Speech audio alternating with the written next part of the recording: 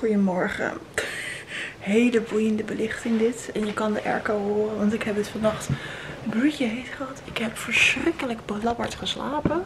Maar dat heb ik altijd op het moment dat ik vroeg op moet ergens naartoe. Maar vandaag is het tijd voor de eerste Londen vlog. Uh, het is nu half zes. Ik moet over een half uurtje weg. Mijn moeder brengt me dan naar het station. Dan ga ik met de trein naar Rotterdam. En op Rotterdam Centraal neem ik de Eurostar richting Londen. De directe verbinding. Uh, heel erg chill. Nog nooit met de trein geweest, maar echt... Ja, ik, ik, wilde gewoon heel erg graag met de trein. Want ik had geen zin in de druktes op Schiphol. En ik kon gewoon alles meenemen wat ik wilde, et cetera. Dus het is gewoon heel erg chill. Um, maar goed, daar moet ik een uur van tevoren zijn. De trein vertrekt daar iets voor half negen. En dan ben ik om 11 uur Engelse tijd in Londen. Ik kan mijn moeder beneden de katten eten geven. Die ga ik zo meteen even gedag zeggen, want ik ga ze natuurlijk heel erg missen. Um, en mocht je nieuw zijn op mijn kanaal en dit nog niet hebben gezien of dit op een later moment kijken of iets dergelijks. Um, dit is mijn allereerste solo tripje. Ik ga in mijn eentje naar Londen. ik vind het heel erg spannend, maar ik heb er ook heel erg veel zin in. Uh, ik heb heel weinig gepland expres. Ik heb morgen, ik ga drie dagen in totaal.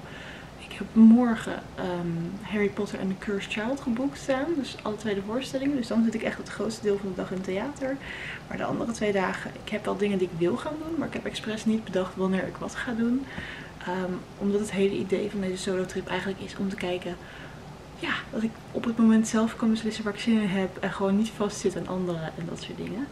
Dus ik ben super benieuwd hoe dit gaat zijn. Uh, ik ben over het algemeen heel goed in op mezelf zijn. Dus ik ben heel benieuwd hoe dat gaat zijn in Londen in een andere stad. Ik denk op zich dat overdag best wel moet gaan. Want ik ken de stad, ik ken de plek waar ik ben waar eerder ben verbleven, et cetera. Ik zit gewoon in hetzelfde hotel als eerder. Um, dus ik denk dat overdag gewoon prima zal gaan. Dat ik lekker de stad zal verkennen en dingen ga doen en weet ik het wat. Uh, maar ik ben benieuwd hoe het s'avonds is als ik dan in mijn eentje in de hotelkamer zit. Maar tegelijkertijd, ik ben hoogsensitief en ik ben dan waarschijnlijk zwaar overprikkeld van de hele dag rondlopen in een drukke stad. Dus waarschijnlijk ga ik s'avonds douchen. Ga daarna een beetje boekjes zitten lezen omdat ik gewoon zwaar overprikkeld ben en ga daar naar bed. Dus uh, ja, ik hoop dat het moet goed gaan komen. Maar ik ga het allemaal vastleggen, want het lijkt me heel erg leuk om dit terug te zien. Om te zien hoe mijn eerste solo tripje was later. Um, maar goed, vandaag... Uh, dus richting de trein. Ik ga snel even wat ontbijten. En dan uh, ga ik nog allemaal afzetten.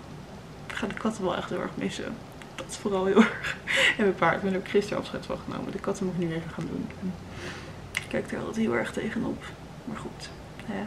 Ik ben benieuwd hoe het gaat zijn straks op het station als ik afscheid neem van mijn moeder. Dat heb ik ook nooit echt zo bewust gedaan, zeg maar, voor...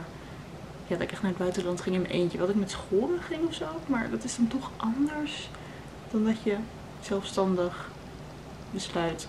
Ja, weet niet. Oké. Wat een lekker ribbelend verhaal. Goed, ik ga nog even de laatste dingen doen. En dan is het om te vertrekken.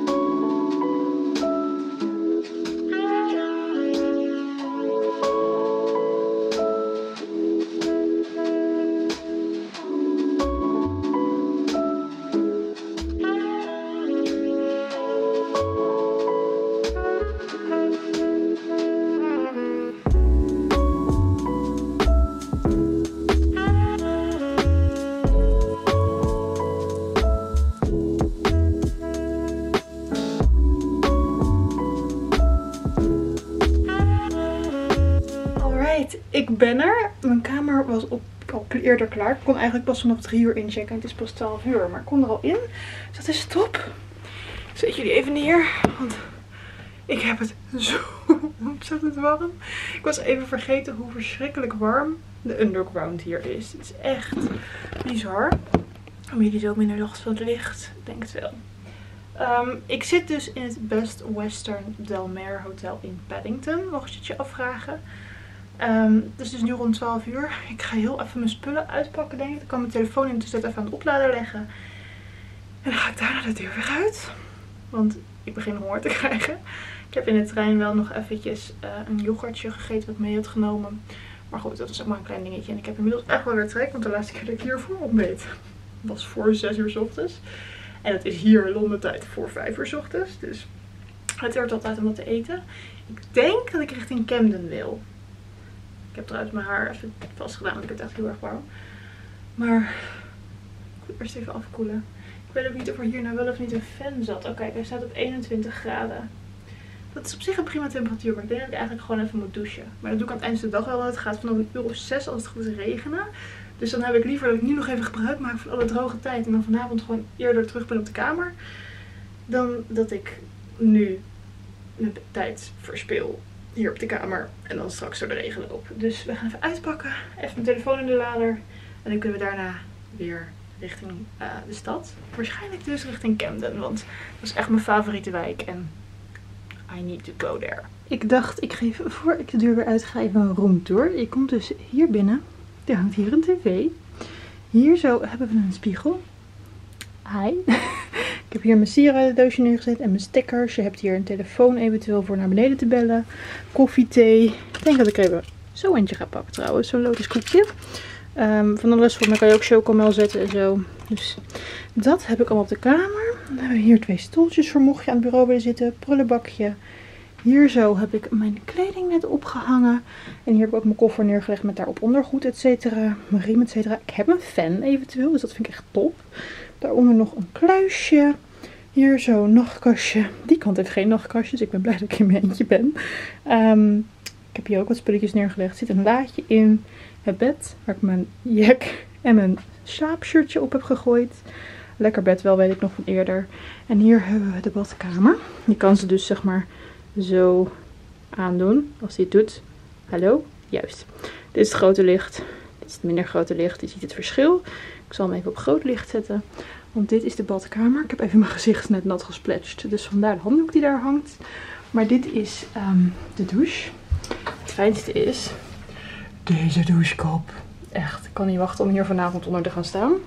Dan gewoon wc, extra toiletrollen, al, dat soort dingen badkamertafel. Die ik al helemaal op vol heb gelegd. En dat is het. Um, ik heb nog steeds bloedje heet. Maar ik vraag me af of dat heel veel gaat veranderen als ik hier nog even ga zitten wachten. En ga alleen maar honger van. En ik verpest een deel van mijn dag ermee. Dus ik ga gewoon lekker de stad in. Ik nog een beetje te twijfelen of ik een ander shirt aan ga doen. Maar zo drijfnat van het zweet is die ook weer niet.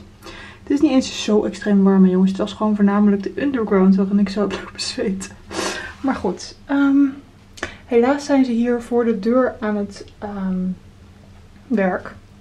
Ik zit dus in Paddington en ze zijn hier voor de deur um, bij het station, bij de underground, helaas aan het werk. En dat betekent dat ik helemaal om moest lopen. Dus ik ga zo even kijken of er een andere metro-ingang is die wel nog open is. Want dat zou wel top zijn. Dan moet ik elke keer om gaan lopen als ik terugkom naar het hotel of wegga.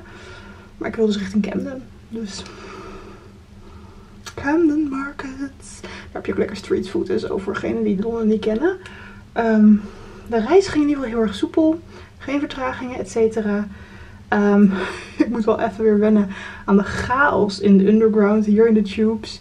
Want jeetje, wat een boel mensen en wat holt alles door elkaar heen. Maar tegelijkertijd is het wel georganiseerd en blijft iedereen gewoon links. Maar dat moet ook even weer in mijn hoofd tevoorschijn komen, dat ik links moet aanhouden. Dus um, ik ga mijn schoenen weer aandoen. En dan gaan we de tube nemen.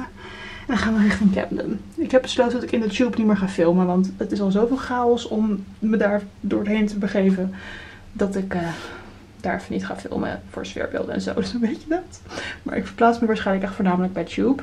Daarvoor heb je Oystercard nodig. Die had ik nog. En ik ging kijken hoeveel er nog op stond. En er stond nog 16 pond of zo op. En je hebt max 7 pond met per dag nodig. Dus ik was al bijna helemaal voorzien. Dus ik heb er echt een tientje opgezet. En uh, ja, dan gaan we stad in. Ik ben heel benieuwd hoe deze dagen me gaan bevallen gewoon. Oké, ik ben er. En volgens mij is het hele stuk nieuw sinds ik hier eerder ben geweest. Maar ik ga eerst richting de stables en het eten. Want ik gok dat ik me daardoor een stuk beter ga voelen. En die vind je bij Camden Lock. Hier zo opzij bij de Orange Juice. En dan hierachter zit een hele leuke foodmarkt. Ik heb het serieus nog nooit zo rustig gezien als vandaag. Ja, ik kom nu ook niet hoog zomer, dus dat scheelt. Oké, ik ben uiteindelijk voor falafel gegaan.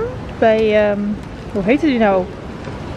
Best falafel? Geen idee. In ieder geval ben ik even de rust op gaan zoeken hier buiten de markt. Je hebt hier zeg maar het kanaal en uh, hier in die muren zeg maar zit die markt. Maar ik ben een beetje overprikkeld. Dus ik ga even hier zo rustig eten. Het is toch nog droog. Redelijk uitzicht. En dan kan ik zo weer met energie de markt in. Oké. Volgens mij heb ik een beetje te veel voor elkaar gekregen bij uh, Lock het bord, zeg maar. Het heeft me echt goed gedaan om eventjes een beetje uit de te gaan zitten net. Ik heb het niet eens opgekregen, want het was zo ontzettend veel. Wel heel lekker. Um, maar goed, nu tijd om de stils en alles hier in Camden lekker echt te gaan bekennen.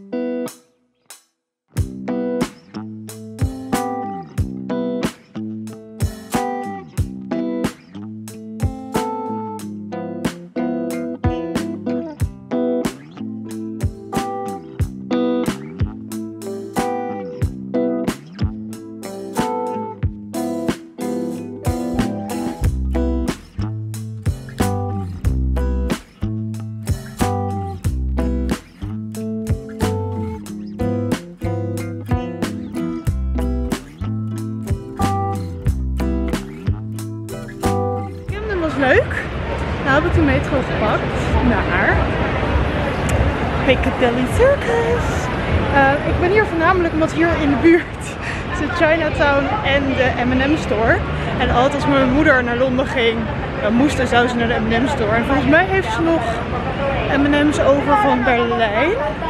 Maar ik kan het toch niet laten om als souvenir voor haar dat mee te nemen. Dus ik dacht dat ga ik nu alvast halen. Morgen ga ik namelijk bijna de hele dag naar de musical. En uh, dan mag je dat allemaal niet meenemen, dus het is zonde. Dus ik dacht, dat haal ik vandaag. En uh, ik denk dat ik daarna ook hier in de buurt even ga kijken. Als het goed is zit er hier namelijk echt een enorme Waterstone. Echt met acht verdiepingen aan boeken. Dus ik kan het niet laten om daar natuurlijk even te gaan kijken. Tada! Als je even doorloopt, Piccadilly Circus zit zeg maar bij dat gebouw. Dan zit hier de M&M store. Volgens mij is dit de grootste van de wereld.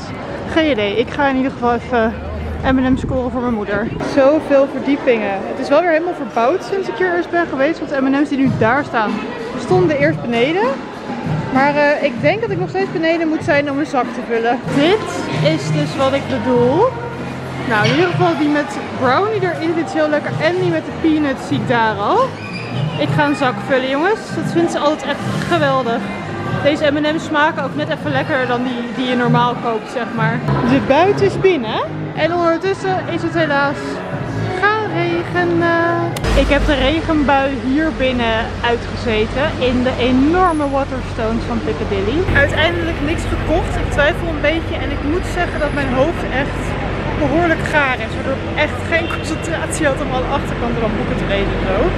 Dus hopelijk kan ik van de week nog een keertje terug. Want ze hadden wel echt leuk geprijsde boeken staan en zo. En heel veel fantasy. Echt zo ongeveer de hele tweede verdieping was fantasy. En dat lees ik graag.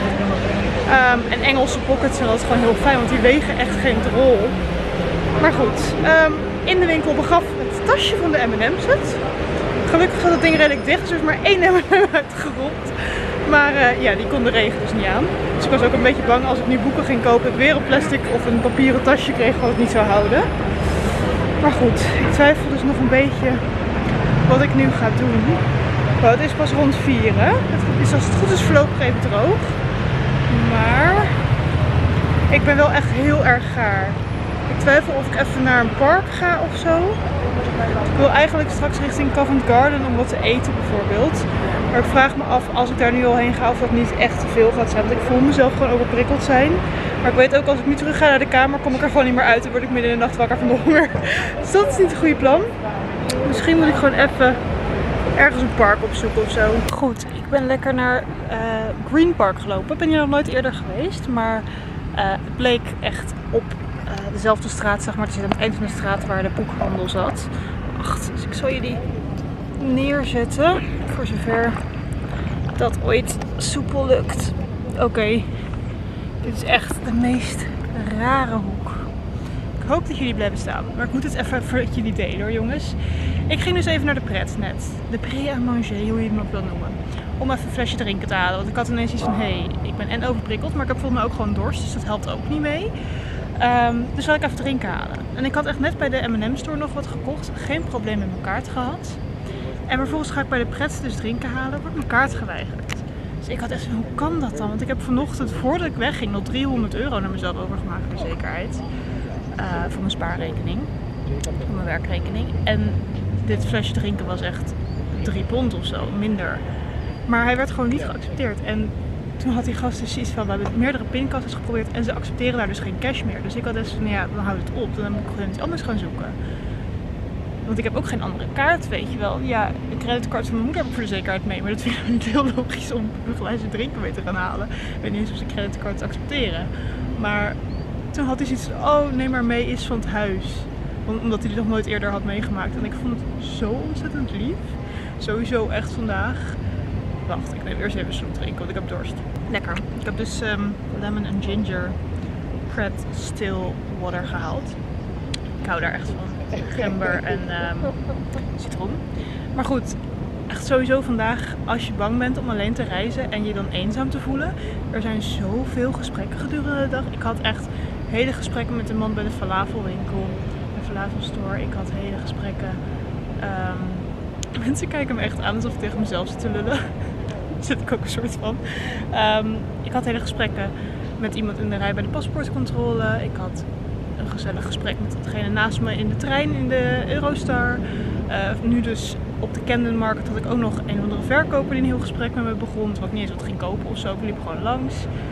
En ook gewoon een gezellig gesprek van joh, ben je alleen op reis? En als je nog een keer in Camden komt, dan leidt het je wel rond. En weet ik het wel. Ik denk, nou ja, daar ga ik dan niet op in. Maar het was gewoon een gezellig gesprek. En ja, je hoeft echt niet bang te zijn dat je je eenzaam voelt. Dat merk ik tot nu toe echt al wel. Ik word een beetje afgeleid. Toen loopt daar politie met paarden en love it, paarden. Misbrouw nu al. Maar goed, ik ga even hier chillen. Ik heb even mijn telefoon aan de powerbank gelegd ook. Want die was onder de 20% gezakt. En ik heb dus een hele handige app op mijn telefoon staan waarmee ik uh, de, de underground regel. Dat is de app Tube Map. Ik zal hem wel even in de beschrijving ook zetten. Maar daarmee kan je dus heel makkelijk kijken van joh, ik wil van hier naar hier. En dan geeft hij aan welke trams je moet hebben. Of welke metro's bedoel ik, welke tubes. En hij geeft ook aan of je bijvoorbeeld sneller bent als je gaat wandelen of iets dergelijks. Dus het is echt ideaal. Um, ik ga hier even chillen. Het is dus nu iets voor half vijf. Ik hoop dat het even droog blijft. Achter me is het redelijk grijs, maar voor me is het redelijk blauw. Dus ik hoop dat het blauwe de waarheid is.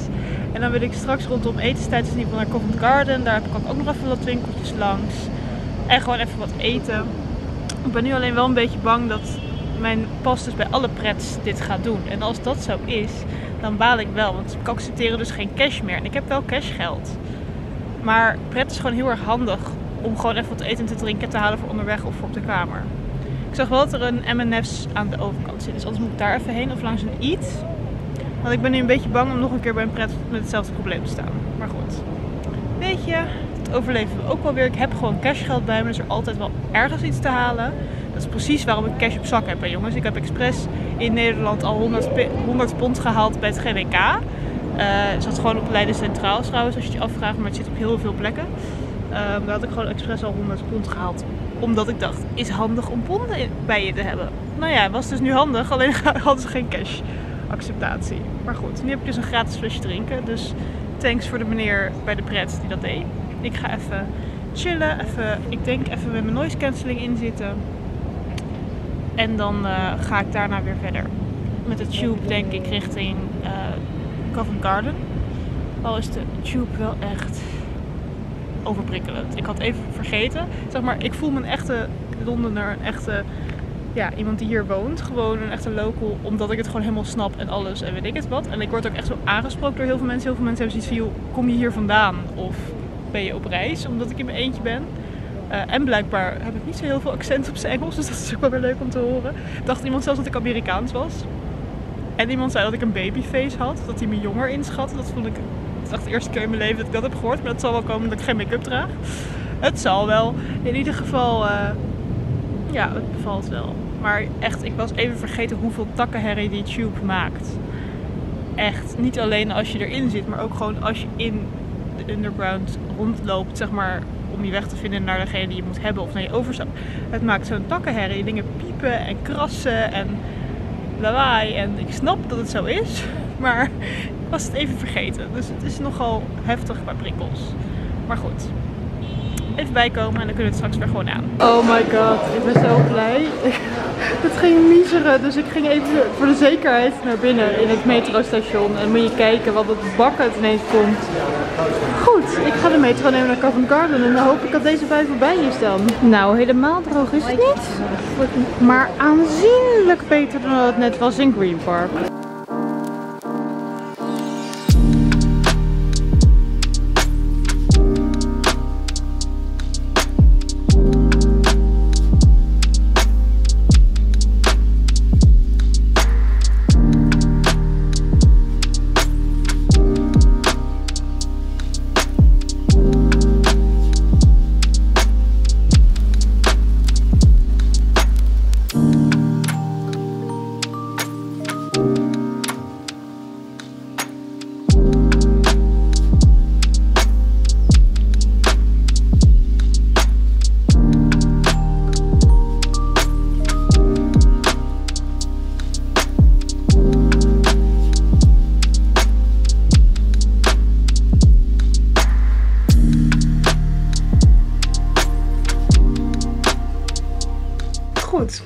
Mega sprong in de tijd.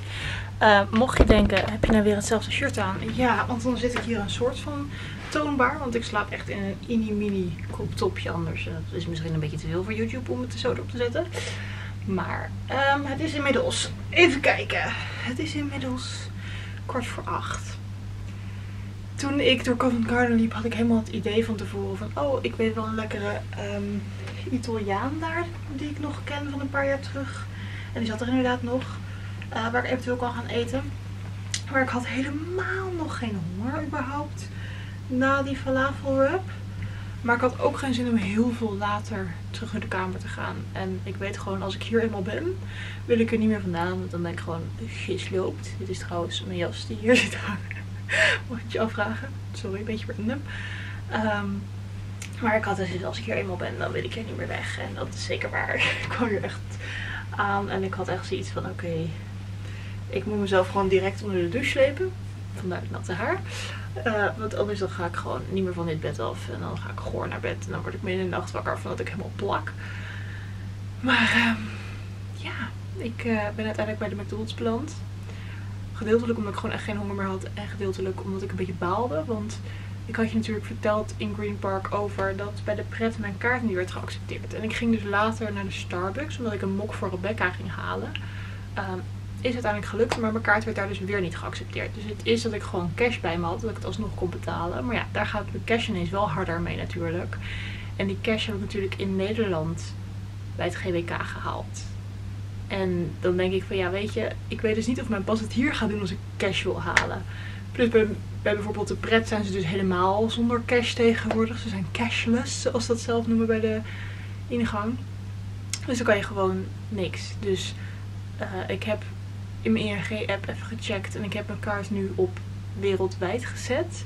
Had ik nog niet gedaan, maar tegelijkertijd bij sommige winkels deed hij het wel. En bij de store heb ik gewoon kunnen afrekenen en zo. Was geen probleem, dus het is heel raar. Um, bij de uh, Starbucks zeiden ze dat het een bekend probleem was. Dat het bij German cards regelmatig gebeurde. Dus, I don't know. In ieder geval heb ik hem dus nu op wereldwijd gezet. Uh, mijn moeder had het erover dat zij even online had gecheckt. Ik haar geappt terwijl ik bij de McDonald's zat. Uh, die had ze iets van ja, als het goed is moet dit werken. Maar goed, ik ga het morgen dus zien. Anders moet ik even contact opnemen met ING. Of hopen dat ik gewoon geld ergens cash kan halen ik ga gewoon de komende dagen in ieder geval proberen in eerste instantie te proberen te pinnen. En als mijn pinnen het niet doet, ga ik cash betalen. Want ik wil niet dat ik door mijn cash heen raak en dan gewoon echt een probleem heb. Um, maar goed, dat is een beetje het nadeel van alleen reizen. Normaal gesproken heb je twee kaarten en dan kan de ander ook wat doen. Ik heb natuurlijk eventueel de creditcard van mijn moeder bij me. Maar ik heb zoiets van, voor kleine bedragen, weet je dat flesje drinken vandaag was nog geen 3 pond. En dan ga je toch geen creditcard voor gebruiken. Ik bedoel, er zijn wel mensen dit doen hoor, maar ik doe dat niet zo snel. ik heb überhaupt geen creditcard. Ik heb hem alleen van mijn moeder mee voor het geval dat ik hem nodig had bij het hotel. Um, dus daar heb ik dan nog een soort van geluk mee dat ik die mee heb. Want daar dacht ik al echt gisteravond last last minute nog aan. Van oh ja, dat was misschien ook handig. Maar goed, verder wel een hele leuke dag gehad. Ben dus uiteindelijk bij de McDonald's beland. Was niet heel geslaagd, want ik was al zwaar overprikkeld. En vervolgens was het daar natuurlijk druk. En ik dacht, oh, ze hebben een of andere vega burger die we in Nederland niet hebben. Laat ik dat proberen. Nou, dat ding vond ik echt niet eten. ja, ik heb ook überhaupt, ik had helemaal niet zo'n honger. Dus ik heb maar de helft van mijn patatjes en de helft van mijn vega burger gegeten. En zat ik gewoon vol. ik denk dat die vanavond van vanmiddag gewoon echt heel veel was geweest. Ehm, ja, dat. En ze hadden geen milkshake. Dus daar behoud ik wel van. Want ik had al deze gehaald. Een cola bij de um, M&S. Daar kon ik gelukkig wel binnen. Pas nadat ik mijn kaart had veranderd op wereldwijd. Dus ik hoop dat dat het was. Ehm, en toen kwam ik dus bij de McDonald's met het idee van... ook oh, ga ik een milkshake halen. En toen hadden ze alleen maar frisdrank. Dus toen heb ik ook een hele... Tenminste een halve liter of zo. Ik weet niet of die medium dingen zijn. Aan um, Fanta gedronken. Dus ik zit nu een beetje te kijken van misschien ga ik zo meteen wel chocomel maken. Want ik heb een beetje genoeg kools überhaupt de drank op inmiddels. Maar ja, dat wist ik dus nog niet toen ik deze kocht. Maar goed, ik dacht het is wel handig om iets te hebben hier op de kamer verder. Ik kan ook gewoon kraanwater erin killen, dat scheelt. Ehm, dus dat ga ik denk ik gewoon doen. Water, misschien chocomel en ik heb dus cola. En verder ga ik vanavond geen ene hol meer doen. ik zei het net al op Instagram, maar ik heb mezelf onder de douche gehaald. Echt, I love die store douche. Hij was net zo fijn als wat ik me herinnerde. Um, ik moet mijn haar nog even verder doen. maar ehm, verder ga ik mijn gezichtsverzorging nog even doen. Mijn haar even dat het op een goede manier opdroogt. En verder ga ik de rest van de avond een boekje onderuit. Of ik heb nog series of weet ik het wat om te kijken. Dus dat komt allemaal wel goed. Maar ehm, ik wilde gewoon even dit verhaal delen. Tot nu toe was de eerste dag dus zeker een succes. Er waren wel echt momenten waarop ik dacht... gewoon puur omdat ik dan gewoon zwaar overprikkeld was. En dat heb ik altijd met reisdagen. Maar omdat ik maar drie dagen heb hier in Londen. En al één hele dag zo wat in theater zit. Want ik heb morgen twee voorstellingen op één dag. Um, ga je hier morgen meer over zien. Um, maar dat betekent dat ik dus echt zoiets had van ja, ik wil gewoon vandaag wel leuke dingen doen. Want ik heb ook een heel tof mailtje gehad over iets wat ik donderdag kan gaan doen. En I'm freaking excited. Het was, ik kreeg het vorige week vrijdag al te horen. Dit is echt een spoiler van niks. Maar ik hoop dat je een beetje, een beetje nieuwsgierig wordt hiervan. Maar we gaan uh, donderdag iets heel tofs doen. Want ik kreeg vorige week vrijdag, echt vlak voordat ik dus ga. Want ik ging op dinsdag weg, vandaag kreeg dus een mailtje met een heel tof voorstel of iets wilde komen doen in Londen.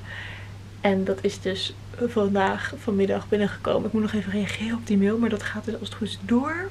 Het gaan we donderdag doen. Maar dat zorgt ook dat ik donderdag iets wat beperkter ben in wat ik verder ga doen. Ik denk dat ik donderdag, dus sowieso donderdag heel regenachtig. Dus ik denk dat ik donderdag voornamelijk gewoon de winkelstraten opduik. Uh, ik ben nu alleen maar bij Piccadilly Circus geweest. Maar ik denk dat ik dan ook even Oxford Street en Regent Street ga pakken. En daar in de buurt is ook hetgeen wat ik dus ga doen. En daar ben ik freaking excited over.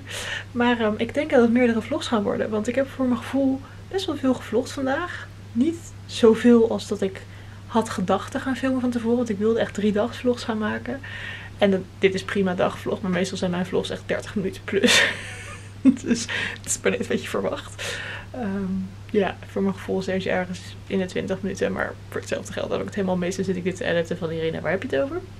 Maar um, dat betekent dat ik van nu de vlog ga afsluiten. En dat ik dan morgen een nieuwe vlog open. Of dat een eendaagse vlog of een tweedaagse vlog wordt, weet ik dus nog niet.